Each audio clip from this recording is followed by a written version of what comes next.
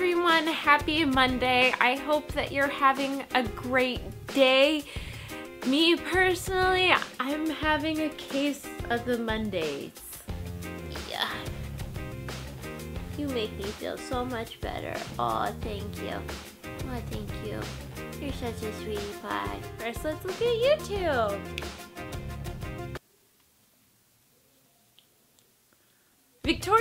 Asked, what's your favorite manga book transferred into a drama? Well, my favorite manga is Honey and Clover, and it's been turned into two movies and a drama both in Japan and in Taiwan. So, Honey and Clover. Panda TV wrote, OMG, Gokusen was my first drama ever.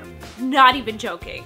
Did you watch Gokusen 2, 3, and the movie? Actually, no. I watched 1 and 2 because one had Matsumoto Jun and Oguri Shun, and it was awesome.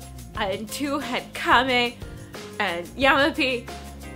And then I started getting into other dramas and knowing that those two guys weren't going to be in it again. I started watching three and then I stopped. Now let's look at Twitter. Nancy Gervas wrote, Please tell me any good Korean drama that I won't get bored and a Taiwanese one. Nancy, have you seen Rooftop Prince? That's a pretty good constant comedy, drama, intrigue, mystery. I recommend Rooftop Prince if you haven't seen it already. And for Taiwanese dramas, mm, if you don't mind something a little bit over the top, check out Miss No Good. Now let's look at Tumblr. Vantagurum wrote, Hey there, I kind of want to let you know how much I love and appreciate your videos. Aw, they're very fun to watch and very educational as well. Now for the question. What's your favorite thing about South Korea that's different from the States? Well, first off, Vantagurum, thank you so much. Your comment really made me smile and help make my day a brighter, happier place. To answer your question, internet speed.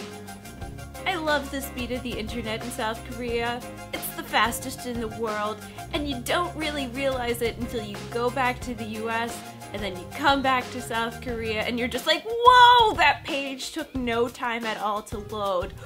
Whoa, I can stream things online with ease. And let me say, that really makes a difference for a drama watcher. And that's it for today's Q&A. I hope that you enjoyed this video. If you did, be sure to give it a big thumbs up and click the like button down below. Also down in the comments section, you can leave your question for next week, or you can leave it on Tumblr or Twitter. I will leave links to both in the description box below. Am I forgetting anything? Oh, and happy Monday. Bye! So let me show you why I'm kind of in a funk today.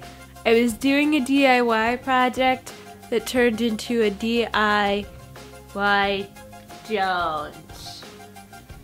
It was supposed to be a cat tower, and then Maki climbed on it and busted it. But she doesn't care. She's like, I don't care. I don't care that I busted it.